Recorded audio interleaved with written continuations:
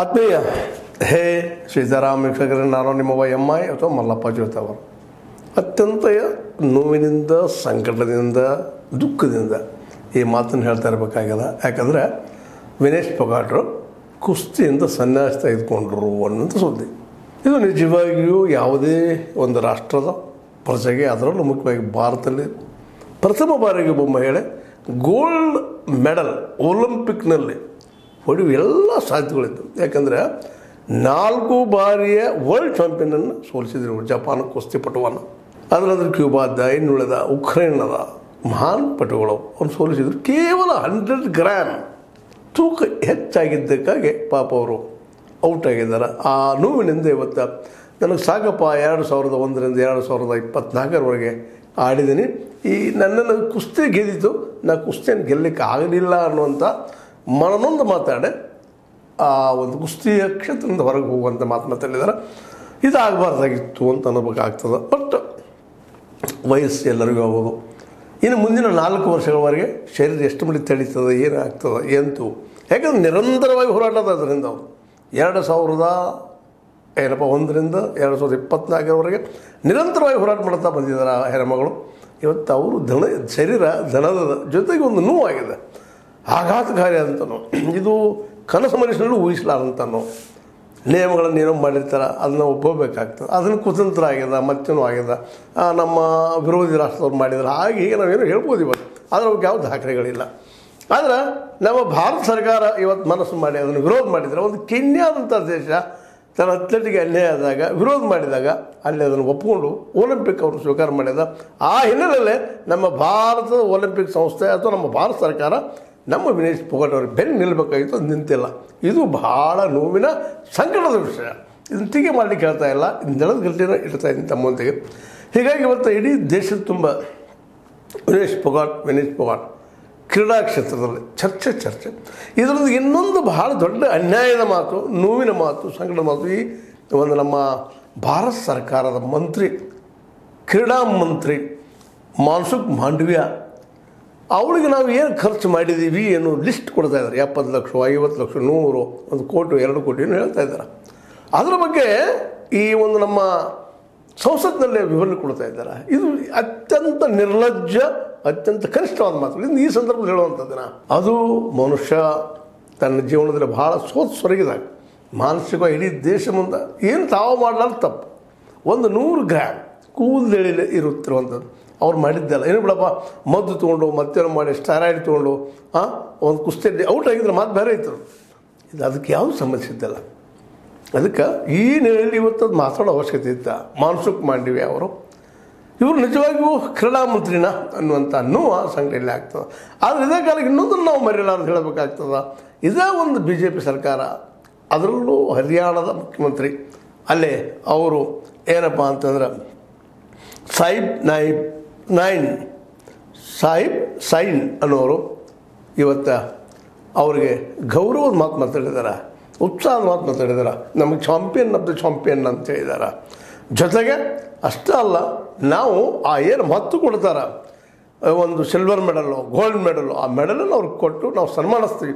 ಇಡೀ ನಮ್ಮ ರಾಜ್ಯದ ಹೆಮ್ಮೆಯವರು ಅಂಥೇಳಿ ಮಾತು ಮಾತಾಡಿದ್ದ.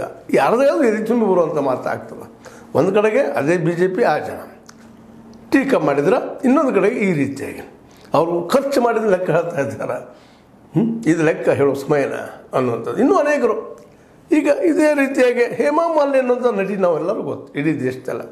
ಆ ಹೆಣ್ಣುಮಗಳು ಇವತ್ತು ಕೇಳ್ತಾ ಇದ್ದಾಳ, ಇದೊಂದು ಪಾಠ ಆಗಬೇಕು ಎಲ್ಲರಿಗೂ. ಎಂಥ ಪಾಠ ರೀ? ಯಾರಿಗೆ ಪಾಠ ಆಗಬೇಕು? ಇಲ್ಲ ಹಂಡ್ರೆಡ್ ಗ್ರಾಮಿಂದ ಅವಳು ಔಟ್ ಆದಲು. ಇದನ್ನು ತಮ್ಮ ಶರೀರ ನಾವು ಕಾಳಜಿ ವಹಿಸಬೇಕು ಮತ್ತು ಆ ಸಂದರ್ಭದಲ್ಲಿ ಅದು ಏನಾಗ್ತದೆ ಅದರ ಬಗ್ಗೆ ವಿಚಾರ ವಿಮರ್ಶೆ ಮಾಡ್ಕೋಬೇಕು, ಮತ್ತು ತಮ್ಮ ಶರೀರ, ತಮ್ಮ ಕಂಟ್ರೋಲ್ ಇಟ್ಕೋಬೇಕು ಅಂತ. ಇದು ಹೇಳೋ ಮಾತನ ಹೇಮಾಮಾಲಿನಿ ಅವರು. ಈ ದೇಶ ಕಂಡಂತಹ ಅಪರೂಪದ ಒಬ್ಬ ನಟಿ ಹೆಣ್ಮಗಳು ಅವರು ಈ ರೀತಿ ಮಾತಾಡೋದ? ಹೌದು, ಮಾಡಬೇಕಾಗಿತ್ತು ಅದಾಯಿತು ಎಲ್ಲ ಸರಿ. ಆದರೆ ಈ ಸಂದರ್ಭ ಏನದು ಮಾತಾಡೋದಕ್ಕೆ? ಇಂಥ ಅನೇಕ ಮಾತುಗಳು ಬರ್ತಾ ಇದ್ದಾವೆ ಇವತ್ತು ಸೋಷಿಯಲ್ ಮೀಡಿಯಾದಲ್ಲಂತೂ ವಿರೋಧ, ಪರ ಅನ್ನುವಂಥ ಮಾತು, ಅದಕ್ಕೆ ಹೆಚ್ಚು ಪರವಾದ ಮಾತುಗಳು ನಮ್ಮ ದೇಶದ ಸ್ವಾಭಿಮಾನ ಪಣಿ ಅನ್ನುವಂಥ ಮಾತುಗಳು ಬರ್ತಾ ಇದ್ದಾವೆ. ಈ ನಿಟ್ಟಿನಲ್ಲಿ ನಮ್ಮ ಇವತ್ತು ಮೋದಿಯವರು ಈ ನಮ್ಮ ವಯ, ನಮ್ಮ ವಿನೇಶರ ಪರವಾಗಿ ಮಾತಾಡಿದ ಮಾತುಗಳು ಅಡ್ಡಿಲ್ಲಪ್ಪ. ಒಂದಿಷ್ಟು ಸಂತೋಣದ ಮಾತುಗಳು ಅಂತ ನಾವು ಹೇಳ್ಬೋದೇನೋ, ಇಲ್ಲಂತಲ್ಲ. ಆದ್ರೆ ಇನ್ನೂ ಈ ಟ್ರೋಲ್ ಮಾಡುವಂಥ ಜನ ಬಿ ಜೆ ಪಿ ಟ್ರೋಲ್ ಮಾಡೋ ಜನ, ಅವ್ರನ್ನ ಟೀಕೆ ಮಾಡುವಂಥದ್ದು ಅಥವಾ ಹಿಂದಿನ ದಿನಗಳನ್ನ ನೆನಪಿಸುವಂಥದ್ದು ಮಾಡ್ತಾ ಇದ್ದಾರೆ. ಇದನ್ನು ನೆನೆಸ್ಕೊಂಡಾಗ ಇವೆಲ್ಲ ಯಾಕಪ್ಪ ಅಂತಾರೆ. ಇದೇ ಸಮಯದಲ್ಲ ನಮ್ಮ ವಿರೋಧ ಪಕ್ಷಗಳು ಸಹಿತ ಸಾಕಷ್ಟು ಇದನ್ನು ವಿರೋಧ ಮಾಡಿದ್ದಾರೆ. ನೀವು ಸರ್ಕಾರ ಏನು ಮಾಡ್ತಾ ಇದ್ದೀರಾ ಆ ಸಂದರ್ಭದಲ್ಲಿ, ನೀವು ಯಾಕೆ ಒಂದು ಈ ನಮ್ಮ ಇಂಟರ್ನ್ಯಾಷನಲ್ ಒಲಿಂಪಿಕ್ ಸಂಸ್ಥೆಗೆ ನೀವು ಯಾಕೆ ಮನವಿಯನ್ನು ಸಲ್ಲಿಸಲಿಲ್ಲ? ಅಥವಾ ಅದು ಪ್ರಶ್ನೆ ಯಾಕೆ ಮಾಡಲಿಲ್ಲ? ಇಲ್ಲಿವರೆಗೆ ಅನ್ನುವಂಥ ಮಾತುಗಳು ಮಾಡ್ತಾರೆ ಇದರಿಂದ ರಾಜಕೀಯದ ಯಾಕಂದರೆ ಹಿಂದೆ ಬ್ರಿಜ್ ಭೀಷಣ್, ಬ್ರಿಜ್ ಭೂಷಣ್ ಶರಣ್ ಸಿಂಗ್ ಅಷ್ಟು ಕೇಳಿದ್ರಿ ನೀವೆಲ್ಲ? ಒಬ್ಬ ವ್ಯಕ್ತಿ, ಇನ್ನೂ ಇದ್ದಾರೆ ಮನುಷ್ಯ. ಅವನ ಮೇಲೆ ಈ ಲೈಂಗಿಕ ದೌರ್ಜನ್ಯದ ಬಗ್ಗೆ ಆರೋಪ ಮಾಡಿ ಮೂವತ್ತು ನಲವತ್ತು ದಿನಗಳವರೆಗೂ ಸ್ಟ್ರೈಕ್ ಹೋರಾಟ ಮಾಡಿದ್ರು ಹೆಣ್ಮಗಳು ಇವರು ಇವ್ರ ಜೊತೆಗಾರರು. ಸಂಗೀತ ಪೊಗಟ್ ಆಗಿರ್ಬೋದು ಅದ್ರ ಜೊತೆ ಬಜರಂಗ್ ಪುನಿಯಾ ಆಗಿರ್ಬೋದು ಸಾಕ್ಷಿ ಮಲಿಕ್ ಆಗಿರ್ಬೋದು, ಎಲ್ಲ ಹೋರಾಟ ಮಾಡಿದ್ರು ಇವರು. ಅದು ಆ ನೆಲೆಯಲ್ಲಿ ಇವತ್ತು ಆ ಬ್ರಿಜ್ ಭೂಷಣ್ ಸಿಂಗ್ ಅಂತವರು ಮಾಡಿದಂಥ ನೆಲೆಯಲ್ಲ. ಇದನ್ನು ನೆನಪಿಸ್ಕೊಂಡು ಕೆಲವೊಂದಿಷ್ಟು ಜನ ಏನಪ್ಪ ಅಂದ್ರೆ ವಿನೇಶ್ ಪೊಗಟ್ ಅವರು ಟೀಕಾ ಮಾಡ್ತಿರ್ಬೋದು, ಇಲ್ಲಂತಲ್ಲ. ಆದ್ರೆ ಈ ಸಂದರ್ಭದಲ್ಲೇ ನಾವು ಅದನ್ನೆಲ್ಲ ಮರ್ತ ಇವತ್ತು ಯಾಕಂದ್ರೆ ಈ ಹಂತಕ್ಕೆ ಬರಬೇಕಾದ್ರೆ ಸಾಮಾನ್ಯ ಕೆಲಸ ಅಲ್ಲ ಅದು. ಅಂದ್ರೆ ಒಬ್ಬ ವಿಶ್ವ ಚಾಂಪಿಯನ್ನ ಸೋಲಿಸೋದು, ಜೊತೆಗೆ ಸೆಮಿಫೈನಲ್ ತನಕ ಬರೋದು, ಇನ್ನು ಫೈನಲ್ ಆಡೋದ್ರೆ ಇದು ಆಗ್ಯದ ಅಂದಾಗ ಎಲ್ಲರೂ ಧ್ವನಿಗೊಳಿಸ್ಬೇಕಾಗಿತ್ತು. ಇದು ಆಗಲಿಲ್ಲ. ಇದಕ್ಕಾಗಿ ವಿರೋಧ ಪಕ್ಷಗಳೆಲ್ಲ ಒಂದಾಗಿದ್ದನ್ನು ಏನಪ್ಪ ಅಂದ್ರೆ ನೀವು ಪ್ರಶ್ನೆ ಮಾಡಬೇಕಾಗಿತ್ತು ಸರ್ಕಾರ. ಇದನ್ನು ಮನಸ್ಸು ಮಾಡಿದರೆ ಬದಲಾಗ್ತಿತ್ತು ಅನ್ನೋಂಥ ಆರೋಪನ ಅವ್ರು ಮಾಡ್ತಾ ಇದ್ದಾರೆ ವಾಕೌಟು ಮಾಡಿದ್ದಾರೆ ಆ ನೆಲೆಯಲ್ಲೇ. ಅಂದ್ರೆ ಈ ದೇಶ ತುಂಬ ಇವತ್ತು ಚರ್ಚೆ ಆಗ್ತಾ ಇದೆ. ಇದರ ಸಂದರ್ಭದಲ್ಲಿ ಸಂಸತ್ನಲ್ಲ ನಮ್ಮ ಚಂದ್ರಶೇಖರ್, ಉತ್ತರ ಪ್ರದೇಶದವರು, ದೊಡ್ಡ ಹೆಸರವರು, ಅವ್ರು ಹೇಳ್ತಾ ಇದ್ದಾರೆ, ಇಲ್ಲ, ನೀವು ಹರಿಯಾಣದಲ್ಲಿ ಅಷ್ಟೇ ಯಾಕೆ ಸನ್ಮಾನ ಮಾಡ್ತೀರಿ ಅವ್ರನ್ನ ಅವ್ರನ್ನ ಕರ್ಕೊಂಡು ಬಂದ ನಮ್ಮ ಸಂಸತ್ತಿನಲ್ಲಿ ಸನ್ಮಾನ ಮಾಡಿರಿ ಅನ್ನೋ ಮಾತನ್ನು. ಯಾಕಂದ್ರೆ ಅವಳು ಕೇವಲ ಹರಿಯಾಣಕ್ಕೆ ಮಾತ್ರ ಸಂಬಂಧಿಸಿದ ಹೆಣ್ಮಗಳಲ್ಲ ಅವರು. ಇಡೀ ದೇಶಕ್ಕೆ ಸ್ವಾಭಿಮಾನ ಸಂಕೇತನೂ ಹೌದು ಅವರು ನಾವು ತಂದು ಗೌರವಿಸಬೇಕಾಗಿದೆ ಅನ್ನುವಂಥ ಮಾತನ್ನು ಮಾತಾಡ್ತಾ ಇದ್ದಾರೆ. ಇದಕ್ಕಿಂತ ಒಂದು ಹೇಳಿ ಮುಂದೆ ಹೋಗಿ ನಮ್ಮ ಬ್ಯಾನರ್ಜಿ, ಅಭಿಷೇಕ್ ಬ್ಯಾನರ್ಜಿ ಅವರಂತೆ ನೇರಾನೇರವಾಗಿ ಅವರಿಗೆ ಭಾರತ ರತ್ನ ಪ್ರಶಸ್ತಿ ಕೊಡ್ರಿ ಅಂತ ಮಾತು ಮಾತಾಡಿದ್ದಾರೆ. ಹೌದು, ಯಾಕೆ ಕೊಡಬಾರ್ದು ಭಾರತ ರತ್ನ?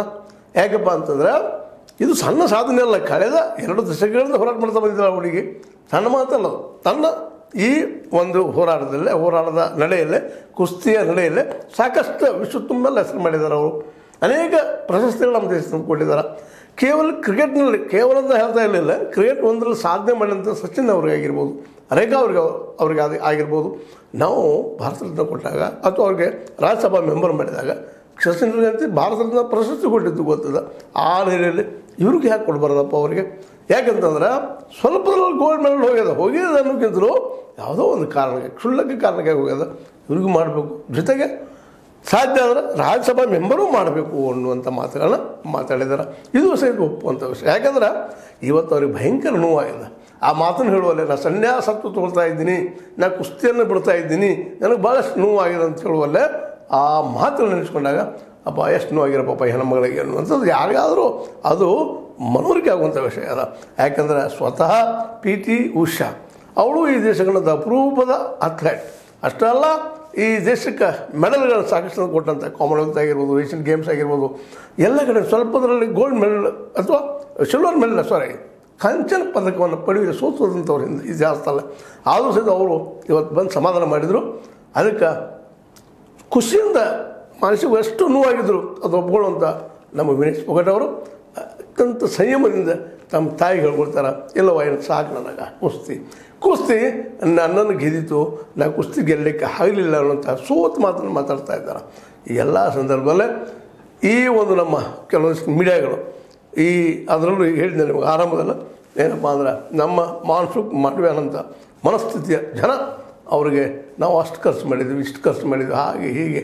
ಇವತ್ತು ಸಂಸತ್ನಲ್ಲಿ ಮಾತಾಡ್ತಾ ಇದ್ದಾರೆ, ಇವತ್ತು ಇಡೀ ದೇಶ ಒಂದು ತಲೆ ತೆಗೆಸುವಂಗೆ ಅವ್ರು ಎಲ್ಲ ಇಡೀ ದೇಶದ ಕ್ರೀಡಾಪಟುಗಳು, ನಿಜವಾದ ಕ್ರೀಡಾಪಟುಗಳು ಹೀಗೆ ಮಾಡ್ತಾ ಇದ್ದಾರೆ. ಯಾಕಪ್ಪ ಅಂತಂದ್ರೆ, ಕೂದಲೆಳೆಯ ಅಂತರದಲ್ಲಿ ತಾ ಮಾಡದ ತಪ್ಪಿಗೆ ಬಲಿಯಾದಂಥ ಅನ್ನುವ. ಒಮ್ಮಿಂದ ಮೇಲೆ ಏನಪ್ಪ ಅಂದರೆ ಹಿಮಾಲಯ ಶಿಖರದಿಂದ, ಎವರೆಸ್ಟ್ ಶಿಖರದಿಂದ ಕನ್ಯಾಕುಮಾರಿ ಪಾತ್ರಕ್ಕೆ ಹೋಗದಂಗೆ ಆಗ್ಯದ ಅವ್ರ ಇಂಥ ಸಂದರ್ಭದಲ್ಲಿ ಎಲ್ಲ ಮಾತಾಡೋ ಅವಶ್ಯಕತೆ ಇರಲಿಲ್ಲ ಅನ್ನುವಂಥ ಮಾತುಗಳು ಅನ್ನಿಸ್ತಾ ಇದ್ದವು. ಇನ್ನು ಇನ್ನೊಂದು ಮಾತನಾಡಿ ನೆನೆಸ್ಬೇಕಾಗಿದೆ. ಏನಪ್ಪ ಅಂದ್ರೆ ಅವ್ರಿಗೆ ಭಾರತ ಅಂತ ಕೊಡ್ರಿ ಮತ್ತೇನೋ ಕೊಡು, ಕೊಡುವಂತೆ ಭಾಳ ಅವಶ್ಯ ಅದ. ಯಾಕೆಂದರೆ ಆ ಒಂದು ಪದಕ್ಕೆ ಬಂದರೂ ಏನಾದರೂ ಮಾನಸಿಕ ನೆಮ್ಮದಿ ನೀಡಬಹುದೇನೋ ಜೊತೆಗೆ ನಮ್ಮ ಹರಿಯಾಣ ಸರ್ಕಾರ ಅಲ್ಲಿಯ ಮುಖ್ಯಮಂತ್ರಿಗಳು ಹೇಳಿದಾರೆ, ನಾವು ಅಂಥದ್ದು ಗೋಲ್ಡ್ ಮೆಡಲ್ ಮಾಡಿಕೊಡ್ತೀವಿ ಅಮ್ಮ ನಿನಗೆ ನಾವು ಕೊಡಿಸ್ತೀವಿ ನಿಮ್ಮನ್ನು ಸನ್ಮಾನಿಸ್ತೀವಿ, ನಮ್ಮನ್ನು ಕರೆಸಿ ನೀವು ನಾವು ಎಲ್ಲ ರೀತಿ ಸನ್ಮಾನ ಮಾಡ್ತೀವಿ, ನಿಮ್ಮ ಹೋರಾಟ ದೊಡ್ಡದು ಅನ್ನುವಂಥ ಮಾತು ಮಾತಾಡಿದ ಸಂದರ್ಭದಲ್ಲಿ ನಮ್ಮಲ್ಲೇ ಚಂದ್ರಶೇಖರ್ ಸಂಸದರು, ಜೊತೆಗೆ ಟಿ ಎಂ ಸಿಯ ನಮ್ಮ ಅಭಿಷೇಕ್ ಬ್ಯಾನರ್ಜಿ ಅವರು, ಅದೇ ರಾಹುಲ್ ಗಾಂಧಿ ಅಂತವ್ರು, ಸೋನಿಯಾ ಗಾಂಧಿ ಅವರು ಎಲ್ಲರೂ ಒಕ್ಕಲಿನಿಂದ ಅವ್ರನ್ನ ಗೌರವಿಸಿ ಮಾತಾಡ್ತಾ ಇದ್ದಾರೆ. ಜೊತೆಗೆ ಅವ್ರು ಸನ್ಮಾನ ಮಾಡೋಣ ಅಂತ ಮಾತು ಬರ್ತಾ ಇದ್ದಾವೆ. ಈ ನೆಲೆಯಲ್ಲೇ ಇವತ್ತು ಇನ್ನೊಂದಿಷ್ಟು ಮುಂದೆ ಹೋಗಿ ಹೇಳುವಂಥದ್ದು ಏನಪ್ಪ ಅಂತಂದ್ರೆ, ಇನ್ನೊಂದು ಈ ಸಂದರ್ಭದಲ್ಲಿ ಆಗಬೇಕಾಗುತ್ತೆ. ಏನಂದ್ರೆ, ಇದಕ್ಕೆ ರಾಜ್ಯಸಭೆ ಮೆಂಬರ್ ಯಾಕೆ ಆಗಬೇಕು, ಅವ್ರು ಮಾಡಬೇಕು, ಜೊತೆಗೆ ಭಾರತ ರತ್ನ ಯಾಕೆ ಕೊಡಬೇಕು ಅನ್ನೋದಕ್ಕೆ ಒಂದಿಷ್ಟು ಕಾರಣಗಳಿದಾವೆ. ಕಾರಣ ಏನಪ್ಪ ಅಂದ್ರೆ, ಒಬ್ಬ ಹೆಣ್ಣುಮಗಳಿಗೆ ಎಣ್ಣೆ ಆದಾಗ ಅದು ಲೈಂಗಿಕ ದೌರ್ಜನ್ಯದ ಆರೋಪಗಳನ್ನು ಮಾಡಿ ಹಿಂಸೆ ಅಷ್ಟು ಸುಲಭದ ಕೆಲಸ ಅಲ್ಲ. ಒಬ್ಬ ಆಡಳಿತಾರೂಢ ಪಕ್ಷದ, ಒಬ್ಬ ಸಂಸದ, ಅದು ಕುಸ್ತಿಯ ಏನ ಸಂಘದ, ಆ ಸಂಘದ ಅಧ್ಯಕ್ಷ, ಈ ಹೆಣ್ಮಕ್ಳು ಮಾಡುತ್ತಿರುವಂಥ ಮೇಲೆ ಮಾಡುತ್ತಿರುವಂಥ ಅನ್ಯಾಯದ ಬಗ್ಗೆ ನೇರಾನೇರವಾಗಿ ಆರೋಪ ಮಾಡಿದ, ಮಾಡುವಂಥದ್ದು ಸಾಮಾನ್ಯರ ಹೊರದಾಗಿ ನಿಲ್ಕುವಂಥದ್ದಲ್ಲ ಅಂತ ಭಾಳಷ್ಟು ನಾವು ಕ್ರೀಡಾಪಟುಗಳು ನೋಡಿದ್ದೀವಿ, ಇಂಥ ಸುದ್ದಿಗಳನ್ನು ಕೇಳಿದ್ದೀವಿ. ಆ ಸಂದರ್ಭದಲ್ಲೇ ಭಾಳಷ್ಟು ಕ್ರೀಡಾಪಟುಗಳು ನಮಗೇನು ಮಾಡಿದ್ರಿ? ಅನಿವಾರ್ಯದ ನಾವು ಮ್ಯಾಲೆ ಹೋಗ್ಬೇಕಾದ್ರೆ ಅದನ್ನ ಮಾಡಲೇಬೇಕಾಗ್ತದೆ ಅನ್ನೋ ಕಾರಣಕ್ಕಾಗಿ ಅನೇಕ ಹೆಣ್ಮಕ್ಳು ತಮ್ಮ ಭಾವನೆಗಳನ್ನ ಹೇಳಲಿಕ್ಕೆ ಹೋಗೋದಿಲ್ಲ. ಜೊತೆಗೆ ನಮ್ಮ ಹೆಸರು ಕೆಡ್ತದಪ್ಪ ಅದರಿಂದ ಸಾಮಾಜಿಕ ನಮ್ಮ ವ್ಯಕ್ತಿತ್ವ ಹಾಳಾಗಿ ಹೋಗ್ತದೆ ಅನ್ನೋ ಕಾರಣಕ್ಕಾಗಿ. ಇವತ್ತು ನಮ್ಮ ಅನೇಕ ಈ ಲೈಂಗಿಕ ದೌರ್ಜನ್ಯ ಕೇಸ್ಗಳು ಫೇಲ್ಯೂರ್ ಯಾಕಾಗ್ತಾ ಇದ್ದಾವೆ ಅಂದ್ರೆ ಹೆಣ್ಮಕ್ಳು ಬಂದು ಓಪನ್ನಾಗಿ ಯಾರು ತಮ್ಮಲ್ಲ ಒಂದು ಅನ್ಯಾಯವನ್ನು ಯಾರು ತಮ್ಮ ಶರೀರ ಮೇಲೆ ಏನು ದಾಳಿ ಮಾಡಿದಾರೆ, ಅವ್ರ ಬಗ್ಗೆ ಯಾರು ಹೇಳಲಿಕ್ಕೆ ಹೋಗೋದಿಲ್ಲ ಹೋಗಲಿ ಬಿಡಪ್ಪ. ಯಾಕಂದರೆ ಸಮಾಜದ ಮುಂದೆ ಮದುವೆ, ಮಕ್ಕಳು ಮತ್ತು ಬದುಕದ ಸಮಾಜವನ್ನು ಒಂದು ಸ್ಥಿತ ಸ್ಥಿತ ನಮ್ಮ ಸ್ವೀಕಾರ ಮಾಡೋದಿಲ್ಲ ಅಂತ. ಯಾಕಂದ್ರೆ ಎಲ್ಲ ನಮ್ಮ ಸಂಶಯ ನೋಡ್ತಾ ಇದ್ದಾರೆ ಏನೇನು ಆಗಿರ್ಬೋದು ನೋಡ್ತಾ ಇದ್ದಾರೆ. ಅದು ಮಾನಸಿಕ ಒಂದು ಚಿತ್ರ ವಿಷಯ ಆಗ್ತದೆ ಅನ್ನುವಂಥ ಮನಸ್ಥಿತಿ ಈ ದೇಶದಲ್ಲೇ ಹೆಣ್ಮಕ್ಳೆಲ್ಲ. ನಮ್ಮ ವಿನೇಶ್ ಪೊಗಾಟ್ ಆಗಿರ್ಬೋದು, ಅವ್ರ ಜೊತೆಗಾರ, ಅವ್ರ ಜೊತೆಗಾರರಾಗಿರ್ಬೋದು. ಇವತ್ತೊಂದು ಮೂಮೆಂಟ್ ಮಾಡಿದ್ರು ಅವರು. ಯಾವ ಮೋದಿಯವರು ಭೇಟಿ ಪಡಾವೋ, ಭೇಟಿ ಬಚಾವ್ ಅಂತ ಹೇಳಿದರು, ಆ ಮೋದಿಯವರು ಮೌನಕ್ಕೆ ಶರಣ ಶರಣವಾಗಿ ಮಾಡಿದರು. ಇವತ್ತಿಗೂ ಅದ್ರ ಬಗ್ಗೆ ಇವತ್ತಿಗೂ ಮಾತಾಡಲಿಲ್ಲ ನಮ್ಮ ಮೋದಿಯವರು. ಮಾತಾಡಲೇಬೇಕಾದ ವಿಷಯ ಆಗಿತ್ತು. ಯಾಕಂದರೆ ಸುಮ್ಮನೆ ಯಾರ ಮೇಲೆ ಯಾರು ಆರೋಪ ಮಾಡೋಕ್ಕೆ ಸಾಧ್ಯ ಇಲ್ಲ. ಅದ್ರ ಜೊತೆಗೆ ಈ ದೇಶದ ಕಂಡಂಥ ಅಪರೂಪದ ಕುಸ್ತಿಪಟುಗಳಿವರು ಅವತ್ತೊಂದು ಅವಕಾಶ ಆಗ್ತಿತ್ತು. ಇಂಥ ಕೆಲಸ ಮಾಡುವಂಥವ್ರಿಗೆ ಭಯ ಹುಡ್ತಿತ್ತು ಬ್ರಿಜ್ ಭೂಷಣ್ ಶರಣ್ ಶಂಕರ್ ಅಂತವರು ಅನೇಕರಿದ್ದಾರೆ ಇಲ್ಲಿ ಒಬ್ಬರೇ ಇಲ್ಲ. ಅದ್ರ ಬಗ್ಗೆ ಒಳ್ಳೆಯವರು ಸಜ್ಜನರು ಇದ್ದಾರೆ. ಅದು ಭಾಳ ಕಡಿಮೆ ಇದ್ದಾರೆ. ಅವರು ಅದು ಇಂಥ ಜನ ಸಾಕಷ್ಟು ಇರೋದ್ರಿಂದ ಅಂಥ ಜನರಿಗೆ ಒಂದು ಎಚ್ಚರಿಕೆ ಆದಂಗೆ ಆಗ್ತಿತ್ತು. ಮೋದಿಯವರು ಆ ಸನ್ನಿವೇಶದಲ್ಲ, ಆ ಸಂದರ್ಭದಲ್ಲಿ ಇವ್ರಿಗೆ ಬೆಂಬಲವಾಗಿ ನಿಲ್ಲಬೇಕಾಗಿತ್ತು. ಇವತ್ತು ಅವ್ರು ಬೆಂಬಲವಾಗಿ ಮಾತಾಡಿದ್ದಾರೆ. ಅದ್ರ ಬಗ್ಗೆ ನಾವು ಸಂತೋಷ ಪಡೋಣ ಆದರೆ ಇವತ್ತು ಇನ್ನೊಂದು ಹಂತದ ಒಂದು ಪ್ರಸಂಗ ಬಂದದ ಇವತ್ತು. ನಾವು ಕೇಳಬೇಕಾಗಿದ್ದು ಇಷ್ಟೇ ಮೋದಿಯವರಲ್ಲೇ. ಮೋದಿಜಿಯವರ ಇವತ್ತು ಭಾಳ ನೋವಿನಿಂದ ಇದ್ದಾರೆ. ನಮ್ಮ ದೇಶದ ಹೆಮ್ಮೆಯ ವಿನೇಶ್ ಪ ನಮ್ಮ ಪೊಗಟ್ ಅವರು. ಅವ್ರಿಗೆ ನ್ಯಾಯ, ಒಂದು ಮಾನಸಿಕ ನೆಮ್ಮದಿ ಸಿಗಬೇಕಾಯ್ತಂದ್ರೆ ಈಗಲಾದರೂ ಒಂದು ತನಿಖೆ ನಡೆಸ್ತೀರ ನೀವು? ಬ್ರಿಡ್ಜ್ ಬಿಸ್ನೆಸ್ ಶಂಕರ ಮೇಲೆ ಅನ್ನುವಂಥ ಮಾತುಗಳು ಇವತ್ತು ಕೇಳ್ತಾ ಇದ್ದಾರೆ. ವಿರೋಧ ಪಕ್ಷದವ್ರು ಕೇಳ್ತಾ ಇದ್ದಾರೆ. ಎಲ್ಲರೂ ಕೇಳ್ತಾ ಇದ್ದಾರೆ. ಯಾಕಪ್ಪ ಅಂದ್ರೆ ಹೌದು, ಅವ್ರಿಗೆ ನ್ಯಾಯ ಸಿಗಬೇಕಾಗಿತ್ತು. ನ್ಯಾಯ ಸಿಗಬೇಕಾಗಿತ್ತು. ಮತ್ತು ದೃಷ್ಟಿ ಹೆಣ್ಮಗಳು ಹೋರಾಟಗಾರ್ತಿ. ಮತ್ತು ಇದರ ಜೊತೆಗೆ ಇವರಿಗೆ ಭಾರತ ರತ್ನ ಕೊಡೋ ಜೊತೆಗೆ ರಾಜ್ಯಸಭಾ ಮೆಂಬರು ಮಾಡಬೇಕು ಅಂತ. ಯಾಕಂದರೆ ಯಾರ್ಯಾರೋ, ಇವತ್ತು ರೇಖಾ ಅವರು ರಾಜ್ಯಸಭೆ ಸದಸ್ಯರಿದ್ದಾರೆ. ಎಂದಾದರೂ ಬಂದಿದ್ದು ನುಡಿದಿರ, ಬಂದು ಮಾತಾಡಿ ನುಡಿದಿರ. ಕ್ರೀಡಾ ಕ್ಷೇತ್ರದಾಗಿರ್ಬೋದು ಯಾವುದೇ ಕ್ಷೇತ್ರದಾಗಿರ್ಬೋದು ತಮ್ಮ ಕ್ಷೇತ್ರದಾಗಿರ್ಬೋದು ಏನು ಮಾತಾಡಿ ನೋಡಿದ್ರೆ. ಸಚಿನ್ ತೆಂಡೂಲ್ಕರ್ ಎಂದಾದರೂ ಬಂದು ರಾಜ್ಯಸಭೆಯಲ್ಲಿ ತಮ್ಮ ಒಂದು ಕ್ರಿಕೆಟ್ನಲ್ಲಿ ನಡೀತಿರುವಂಥ ನ್ಯಾಯವೋ ಅನ್ಯಾಯವೋ ಏನು ಅದ್ರ ಬಗ್ಗೆ ಮಾತಾಡಿದ್ದು ನೋಡಿದ್ದೀರಾ ಬೇರೆ ಒಂದು ಕ್ರೀಡೆಗಳ ಬಗ್ಗೆ ಏನಾದರೂ ಮಾತಾಡಿದ್ದು ನೋಡಿದ್ದೀರಾ ಅಂದ್ರೆ ನಾನು ಹೇಳೋ ಉದ್ದೇಶ ಏನಪ್ಪ ಅಂತಂದ್ರೆ, ಈ ಕ್ರೀಡಾ ಲೋಕದಲ್ಲಿ ತನ್ನದೇ ಆದಂಥ ಭಯಂಕರ ಒಂದು ಲೋಕದಲ್ಲಿ ಅದು ಭಾಳಷ್ಟು ಜನ ಅದನ್ನು ಎಕ್ಸ್ಪ್ರೆಸ್ ಮಾಡಲಿಕ್ಕೆ ಹೋಗೋದಿಲ್ಲ. ಯಾಕಂದ್ರೆ ಎಲ್ಲರಿಗೂ ಕನಸುಗಳಿರ್ತಾವೆ ನಾವು ದೊಡ್ಡ ಕ್ರೀಡಾಪಟು ಆಗಬೇಕು ಬ್ಯಾಟ್ಸ್ಮನ್ ಆಗಬೇಕು ಬೌಲರ್ ಆಗಬೇಕು, ಒಬ್ಬ ಒಳ್ಳೆಯ ವ್ಯಕ್ತಿಯಾಗಿ ಬೆಳಿಬೇಕಿದ್ರೆ ಬೇರೆ ಬೇರೆ ಕ್ಷೇತ್ರಗಳನ್ನ ಮುಂದೆ ಹೋಗ್ಬೇಕು ಅಂತ ಇರ್ತದೆ. ಅಲ್ಲಿ ಇಂಥ ಬ್ರಿಜ್ ಬೇಸಿನ ಸಣ್ಣ ಸಣ್ಣ ಜನ ಸಾಕಷ್ಟು ಇದ್ದಾರೆ. ಅವ್ರ ವಿರುದ್ಧ ಇವತ್ತಿನವರೆಗೂ ಯಾವ ಕ್ರೀಡಾಪಟರು ಮಾತಾಡ್ಲಿಕ್ಕೆ ಹೋಗಿಲ್ಲ. ಆದರೆ ಇವತ್ತು ಒಬ್ಬ ಹೆಣ್ಮಗಳು ಒಂದು ತಮ್ಮ ಸಂಘಟನೆ ಮಾಡಿಕೊಂಡು ಇವತ್ತು ಅವ್ರ ವಿರುದ್ಧ ಹೋರಾಟ ಮಾಡಿ ಸ್ಟ್ರೈಕ್ ಮಾಡಿ, ಈ ಪೊಲೀಸ್ ದೆಹಲಿ ಪೊಲೀಸ್ ಈವನ್ ಹೊಸ ಸಂಸತ್ತಿನಲ್ಲಿ ಏನಪ್ಪ ಅಂತಂದ್ರೆ ಎಂಟ್ರ್ ಆಗುವ ಸಂದರ್ಭದಲ್ಲಿ, ಪ್ರವೇಶ ಸಂದರ್ಭದಲ್ಲಿ ವಿರೋಧ ಮಾಡಿ ಮೋದಿಯವರು ಗಮನ ಸೆಳೆಯುವ ಪ್ರಯತ್ನ ಮಾಡಿದರು. ಅದಕ್ಕೂ ಸಹಿತ ನಮ್ಮ ಮೋದಿಜಿಯವರು ಮೌನ ಮುರಿಲಿಲ್ಲ, ಹೊರಗೆ ಬರಲಿಲ್ಲ, ಮಾತಾಡಲಿಲ್ಲ. ಅದಕ್ಕೆ ಇವತ್ತು ಮೋದಿಜಿಯವರು ನಾವು ಕೇಳೋದು ಇಷ್ಟ. ನೋವಿನಲ್ಲಿದ್ದಾರೆ ವಿನೇಶ್ ಪೊಗಾಟ್ ಅವರು. ಆ ನೋವನ್ನು ಮತ್ತೆ ಮತ್ತೆ ಕ್ರೀಡೆಗೆ ಬರಬೇಕಾಗಿತ್ತು ಅಂದರೆ ಮತ್ತು ಕುಸ್ತಿಗೆ ಇನ್ನೊಂದು ಸ್ವಲ್ಪ ದಿವಸ, ಇನ್ನೂ ಅವರಲ್ಲಿ ಕುಸ್ತಿ ಬಾಕಿ ಅದ. ಯಾಕಂದ್ರೆ ಇನ್ನೂ ಪೂರ್ತಿ ಮುಗಿದಿಲ್ಲ ಅನ್ನೋದು ಅಭಿಪ್ರಾಯ ಮೂಡಿ ಬರ್ತಾ ಇದೆ. ಆ ಬಾಕಿ ಇರುತ್ತಿರುವಂಥ ಕುಸ್ತಿ ಏನು ಆಡಲಿ ಅವಳು ಅನ್ನೋ- ಅನ್ನೋದಾಗಿದ್ದರೆ ಅವ್ರಿಗೆ ನಮ್ಗೆ ಮಾಡುತ್ತಿರುವಂಥ ಮೊದಲನೇ ಕೆಲಸ ಅಂದ್ರೆ ಬ್ರಿಡ್ಜ್ ಬೇಸನ್ ಶಂಕರ್ ಇವತ್ತು ತನಿಖೆ ಆಗಬೇಕು. ಹಾಗೆ ಮತ್ತು ಒಂದು ಕೇವಲ ಒಂದು ತೆಗೆದು ಹಾಕಿದ್ರೆ ಅಷ್ಟೇ ನೀವು. ಅದು ತನಿಖೆ ಆಗಿಲ್ಲ. ಆರೋಪ ಸತ್ಯೋ ಸುಳ್ಳು ಅನ್ನೋದು ಇಡೀ ಜ- ಜಗತ್ತಿಗೆ, ಅದರಲ್ಲೂ ಈ ದೇಶಕ್ಕೆ ಈ ಹೆಣ್ಮಕ್ಳು ಸುಮ್ಮನೆ ಆರೋಪ ಮಾಡಿದಾರೋ ಏನೋ ಎಂತ ಅಂತ. ಆ ತನಿಖೆಗೆ ಆದೇಶ ಆಗಬೇಕು. ಜೊತೆಗೆ ಅವರಿಗೆ ಈ ಒಂದು ಭಾರತ ರತ್ನ ಅಂತ, ಅದ್ರ ಜೊತೆಗೆ ರಾಜ್ಯಸಭಾ ಸದಸ್ಯರಾಗುವಂಥ ಒಂದು ಅವಕಾಶ ಮಾಡಿಕೊಟ್ರಪ್ಪ ಅಂತಂದ್ರೆ ನಿಶ್ಚಿತವಾಗಿಯೂ ಮೋದಿಯವರು ತಾವು ಹಿಂದೆ ಮಾಡಿದ ತಪ್ಪನ್ನು ತಿದ್ದುಕೊಂಡಂಗೆ ಆಗ್ತದೆ. ಅದ್ರ ಜೊತೆಗೆ ಮತ್ತೆ ಮರಳಿ ಕುಸ್ತಿಗೆ ಹೊಸ ರೂಪ ಬರುವಂಥ ನಮ್ಮಲ್ಲಿ ಬರೀ ಕ್ರೀಡಾಪಟುಗಳು ಗೆದ್ದಾಗ ಹೋಗಿ ಅವ್ರಿಗೆ ಮಾಲೆ ಹಾಕಿ ಮತ್ತೇನು ಮಾಡಿ ದುಡ್ಡು ಕೊಟ್ಟು ಕಾಫಿ ಕರೆದು ಚಹಾ ಕುಡಿಸಿ ಹೋಗೋದಲ್ಲ. ಅವರಿಗೆ ನಿರ್ಬಿಡಿಯಾಗಿ ಈ ಒಂದು ಕ್ರೀಡೆಗಳಲ್ಲಿ ಭಾಗವಹಿಸುವಂಥ ಮಾನಸಿಕ ಸ್ಥಿತಿ ಬೆಳೆಯುವಂಥದ್ದನ್ನು ನಾವೆಲ್ಲರೂ ಕೂಡಿ ಮಾಡಬೇಕಾಗ್ಯದ. ಅದಕ್ಕೆ ಮೋದಿಜಿಯವರು ಆ ದಿಶೆಯಲ್ಲಿ ದಿಟ್ಟ ಹೆಜ್ಜೆ ಇಡಬೇಕಾಗ್ಯದ. ಈ ನೆಲೆಯಲ್ಲಿ ನಮ್ಮ ವಿರೋಧ ಪಕ್ಷಗಳಾದ ಸಹ ಕೆಲಸ ಮಾಡಬೇಕಾಗ್ಯದ. ಕೇವಲ ಮೋದಿಯವ್ರು ಹೇಳುವಂಥದ್ದಲ್ಲ. ಮೋದಿಯವರು ಹಿಂದಿನ ಮೋದಿಯವರಾಗಿಲ್ಲ ಇವತ್ತು. ಸಾಕಷ್ಟು ವೀಕ್ ಆಗಿದ್ದಾರೆ. ಸಾಕಷ್ಟು ಅವರು ಇನ್ನೊಂದು ಪಾರ್ಟಿಗಳ ನೆಲೆಯಲ್ಲಿ ಅವ್ರು ನಿಂತಿದ್ದಾರೆ. ಇಂಥ ಸಂದರ್ಭದಲ್ಲಿ ವಿರೋಧ ಪಕ್ಷ ಬಲಿಷ್ಠದ ವಿರೋಧ ಪಕ್ಷದ ನಾಯಕರೆಲ್ಲರೂ ಯಾಕಪ್ಪ ಅವರಿಗೆ ಕೇಳಬಾರದು? ಆ ಬ್ರಿಜ್ ಬಸವನ ಸಿಂಗ್ ಆರೋಪದ ಇವತ್ತಿಗೂ ಒಂದು ಮೂಲೆಯಲ್ಲಿ ಬಿದ್ದಿದೆ ಅದು ರೀ ಎನ್ಕ್ವೈರಿ ಯಾಕೆ ಹಾಕಿಸ್ಬಾರ್ದು? ಅವ್ರು ತಪ್ಪಿದ್ರೆ ಶಿಕ್ಷೆ ಯಾಕೆ ಕೊಡಿಸ್ಬಾರ್ದು ಅನ್ನೋದು ಭಾಳಷ್ಟು ಜನರ ಅಭಿಪ್ರಾಯ ಆಗ್ಯದ. ಅದು ನಾವು ನಮ್ಮ ವಿನೇಶ್ ಅವರಿಗೆ ಸಲ್ಲಿಸುವ ಸನ್ಮಾನ ಅಂತದ್ದು ಯಾಕಂದ್ರೆ ಒಂದು ಕಡೆಗೆ ಅವ್ರು ಇವತ್ತು ಸೋತಿದ್ದಾರೆ ಖಿನ್ನಾಗಿದ್ದಾರೆ ನೋವಿನಲ್ಲಿದ್ದಾರೆ ನಮ್ಗೆ ಬೇಡ ಭಯ ಇದು, ಕುಸ್ತಿ, ಈ ಉದ್ಯೋಗ ಬೇಕಾಗಿಲ್ಲ. ಸಾಕು ನನಗೆ. ಅಂಥೇಳಿ ನಿರಾಶೆಯಿಂದ ಕುಳಿತಿದ್ದಾರೆ. ಅವ್ರು ಮತ್ತೆ ಹೇಳಬೇಕಾಗ್ಯದ ನಮಗೆ ಕೇವಲ ಬೆಂಬಲದ ಮಾತು ಯಾರು ಹೇಳಲಿಕ್ಕೆ ಸಾಧ್ಯ ಇಲ್ಲ. ಏನಿಲ್ಲಮ್ಮ ಒಳ್ಳೇದಾಗ್ತದಂತೆ ಪಿ ಟಿ ಉಷಾ ಆಗಿರ್ಬೋದು, ನಾವಾಗಿರ್ಬೋದು ಮತ್ತವ್ರು ಆಗಿರ್ಬೋದು ಎಲ್ಲರೂ ನಾವು ಸಪೋರ್ಟ್ ಮಾಡಿ ಮಾತಾಡೋದು ಅವ್ರಿಗೆ ಉತ್ತೇಜನ ಕೊಡಲಿಕ್ಕಿಲ್ಲ. ಅವ್ರ ಮನಸ್ಸಿನಲ್ಲಿ ಇವತ್ತು ನೋವು, ನೋವುಗಳಿದ್ದಾವೆ. ಬ್ರಿಡ್ಜ್ ಬಿಸಿನ್ ಚಲನಶಂಕರ ಸಲುವಾಗಿ, ಮತ್ತು ಇವತ್ತು ಸೂಚಿಸಿದ್ರ ಸಲುವಾಗಿ. ಇವತ್ತೇನಾದರೂ ಅವ್ರಿಗೆ ಅಂಥ ಒಂದು ಮಾನಸಿಕ ನೆಮ್ಮದಿ ಬರಬೇಕಾಗಿತ್ತಪ್ಪ ಅಂದ್ರೆ, ಇವತ್ತು ನಮ್ಮ ಸ, ನಮ್ಮ ಸರ್ಕಾರದ ಜೊತೆಗೆ ನಮ್ಮ ವಿರೋಧ ಪಕ್ಷಗಳ ಎಲ್ಲರ ಒಕ್ಕೊರಣ ಕೆಲಸ ಆಗಬೇಕಾಗಿದೆ ಒಂದನೇದಾಗಿ ಅವರು ಆರೋಪ ಮಾಡಿದಂತಹ ಬ್ರಿಜ್ ಬಿಷನ್ ಶರಣ್ ಸಿಂಗರ್ ತನಿಖೆಗೆ ಒಳಪಡಬೇಕು ಎರಡನೇದಾಗಿ ಅವರಿಗೆ ಭಾರತ ರತ್ನ. ಅದೇನು ದೊಡ್ಡ ವಿಷಯ ಅಲ್ಲ. ಯಾಕಪ್ಪ ಅಂದ್ರೆ ಅವ್ರು ಆ ಎತ್ತರಕ್ಕೆ ಬೆಳೆದಾರೆ ಅವರಲ್ಲಿ ಎರಡು ಗುಣಗಳಿದ್ದಾವೆ ಒಂದು, ಇವತ್ತು ಹೋರಾಟ ಮಾಡಿ ಫೈನಲ್ ಬಂದಿದ್ದಾರೆ. ಯಾವುದೋ ಒಂದು ಕಾರಣಕ್ಕೆ ಸೋತಿದ್ದಾರೆ. ಆ ಮಾತು ಬೇರೆ. ಈಗ ಸಾಕಷ್ಟು ಪದಕಗಳು ಪಡೆದಿದ್ದಾರೆ ಅವರು. ಕಾಮನ್ವೆಲ್ತ್ ಆಗಿರ್ಬೋದು, ಏಷ್ಯನ್ ಗೇಮ್ಸ್ ಆಗಿರ್ಬೋದು, ಎಲ್ಲದರಲ್ಲೂ ಗೆದ್ಕೊಂಡು ಬಂದಿದ್ದಾರೆ. ಅದ್ರ ಜೊತೆಗೆ ಒಲಿಂಪಿಕ್ ಸ್ವಲ್ಪದಲ್ಲಿ ಹೋಗ್ಯದ ಇಂದಿನ ಇಲ್ಲಿಯವರೆಗಿನ ಭಾರತದ ದೇಶ ಇತಿಹಾಸದಲ್ಲಿ ಯಾವೊಬ್ಬ ಹೆಣ್ಣುಮಗಳು ಹೆಣ್ಣುಮಗಳು ಫೈನಲ್ ತನ ಹೋದಂಥ ರೆಕಾರ್ಡ್ ಇಲ್ಲ. ಅದು ಇವತ್ತು ಆಗಿದೆ. ಅವ್ರು ಹೋಗಲಿಲ್ಲ ಮಾತು ಬೇರೆ. ಆದರೆ ಅದೇ ಕಾಲ ನಾವು ಸ್ಟೈರಾಯ್ಡ್ ಮತ್ತೆ ತೊಗೊಂಡವ್ರು ಆಗಿದ್ದರೆ ನಾವು ಅದನ್ನು ಬೇಡಪ್ಪ ಅಂತ ಹೇಳ್ತೀವಿ. ಬಟ್ ಅದು ಯಾವುದೋ ಒಂದು ಇಲ್ಲದ ಕಾರಣಕ್ಕಾಗಿ ಆ ಒಂದು ಸ್ಪರ್ಧೆ ಮಾಡೋದರಿಂದ ಆ ಒಲಿಂಪಿಕ್ ಹೊರಗೆ ತೆಗೆದು ಇವತ್ತು ದಿವಸದಿಂದ ನಿನ್ನೆಯಿಂದ ನಮ್ಮ ಸರ್ಕಾರ ಪ್ರಯತ್ನ ಮಾಡಿದ್ರೆ ಮೋಸ್ಟ್ಲಿ ಅವ್ರಿಗೆ ಅದು ಅವಕಾಶ ಸಿಗ್ತಿತ್ತೋ ಏನೋ. ಆದರೆ ಸಿಕ್ಕಿಲ್ಲ. ಅದು ಸರ್ಕಾರವು ಒಂದು ರೀತಿ ಹೊಣೆಗಾರರು ಆಗುವ ಸಾಧ್ಯತೆಗಳಿದ್ದಾವೆ. ಯಾಕಂದರೆ ಕೆನ್ಯಾ ಅಂತ ದೇಶಕ್ಕೆ ಅವರ ಆಟಗಾರರಿಗೆ ಅಲ್ಲಿ ಅವಕಾಶ ಕೊಡ್ಬೋದು. ನಮ್ಮಲ್ಲಿ ಯಾಕೆ ಕೊಡ್ತಾ ಇರಲಿಲ್ಲ ಅನ್ನೋ ಪ್ರಶ್ನೆ ಹೇಳ್ತಿತ್ತು. ಅದಿರಲಿ ಆಗ್ಯದ ಅಟ್ಲೀಸ್ಟ್ ಇದಾದರೂ ಆದರೆ ಭಾಳ ಉತ್ತಮ ಆಗ್ತದೆ.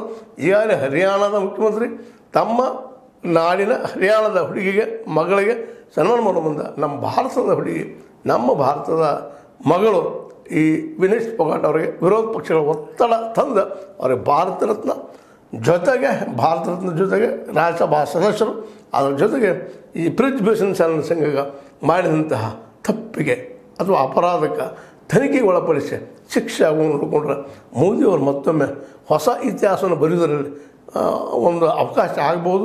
ಮತ್ತು ವಿನೇಶ್ ಪೊಗಾಟ್ ಅವರು ಮತ್ತೆ ಕುಸ್ತಿ ಬಗ್ಗೆ ಕ್ರೀಡೆಗಳ ಬಗ್ಗೆ ಆಸಕ್ತಿ ವಹಿಸಿ ಮುಂದುವರಿಬೋದು ಅನ್ನೋದು ಭಾಳಷ್ಟು ಜನರ ಅಭಿಪ್ರಾಯ. ಹಲವು ಜನರ ಅಭಿಪ್ರಾಯವನ್ನು ನಾವು ತಮ್ಮೊಂದಿಗೆ ಹಂಚಿಕೊಳ್ತಾ ಇದ್ದೀವಿ. ಇದು ಸಾಧ್ಯ ಆಗ್ಬೋದಾ ಮೋದಿ ಅವರಿಂದ? ನೋಡೋಣ ಎಲ್ಲರೂ. ಯಾಕಂದರೆ ಇವತ್ತು ಸಂಸತ್, ಹಿಂದಿನ ಸಂಸತ್ತಲ್ಲ ಕೇವಲ ಒಬ್ಬ ಒನ್ ಮ್ಯಾನ್ ಕೈಯಲ್ಲಿ ಇಲ್ಲ. ಇವತ್ತು ವಿರೋಧ ಪಕ್ಷಗಳು ಇದ್ದಾವೆ. ವಿರೋಧ ಪಕ್ಷಗಳು ಎಲ್ಲರೂ ಕೂಡ್ಕೊಂಡು ತಮ್ಮ ಕೈಯಲ್ಲಿದ್ದಂಥದ್ದು ಸಾಧ್ಯ ಮಾಡಲಿಕ್ಕೆ ಸಾಧ್ಯದ ಯಾಕಂದ್ರೆ ಒಲಿಂಪಿಕ್ ಮೆಡಲ್ ಕೊಡಿಸ್ಲಿಕ್ಕೆ ಸಾಧ್ಯ ಇಲ್ಲ. ಯಾಕಂದ್ರೆ ನಮ್ಮ ಕೈಯಲ್ಲಿಲ್ಲ ಅದು ಇನ್ನೊಂದು. ಇಂಥ ಅಂತಾರಾಷ್ಟ್ರೀಯ ಒಂದು ಪ್ರಶಸ್ತಿ. ಆದರೆ ಇದು ಭಾರತ ರತ್ನ ಕೊಡೋದಾಗಲಿ, ರಾಜ್ಯಸಭಾ ಸದಸ್ಯನ ಮಾಡೋದನ್ನಾಗಲಿ, ಜೊತೆಗೆ ಇವರು ಎನ್ಕ್ವೈರಿ ಬೃದ್ಭೇಷನ್ ಶರಣ್ ಶಂಕರ್ ಇದೆಲ್ಲವೂ ಸಾಧ್ಯ ಇಲ್ಲ ಯಾಕಂದ್ರೆ ಇದೆಲ್ಲ ನಮ್ಮ ಕೈಯಲ್ಲಿದೆ ವಿನೇಶ್ ಪೊಗಟ್ರನ್ನ ಎಬ್ಬಿಸಿ ನಿಲ್ಲಿಸೋದು ಅಥವಾ ಈ ಒಂದು ಹೋರಾಟದಲ್ಲಿ ಕೆಚ್ಚಲು ತುಂಬುವಂಥದ್ದು ಮತ್ತು ಅವ್ರನ್ನ ಕುಸ್ತಿಯಲ್ಲಿ ಮುಂದುವರಿಬೇಕಾಗಿದ್ರೆ ಇದನ್ನು ಮಾಡಿದ್ರೆ ಆಗ್ಬೋದೇನೋ. ಏನಂತೀರಿ ನೀವು? ಇದಾಗೆ ಲೈಕ್ ಮಾಡಿರಿ ಶೇರ್ ಮಾಡಿರಿ ಜೊತೆಗೆ ಕಾಮೆಂಟ್ ಮಾಡೋದು ಬಿಡ್ಲಿಕ್ಕೆ ಹೋಗಬೇಡ್ರಿ. ಅದೇ ಕಾಲಕ್ಕೆ, ಹೇ ಸೀತಾರಾಮ್, ಇದು ಸತ್ಯದ ಕೈಗಳಲ್ಲಿ ಅದಕ್ಕಾಗಿ ತಾವು ಏನು ಮಾಡ್ಬೇಕು? ಸದಾ ಇದನ್ನು ಸಬ್ಸ್ಕ್ರೈಬ್ ಆಗ್ತಾ ಇರಬೇಕು ಅಂತ ಹೇಳ್ತಾ ನಾನು ಮಾತು ಮುಗಿಸ್ತಾ ಇದ್ದೀನಿ. ವಂದನೆಗಳು.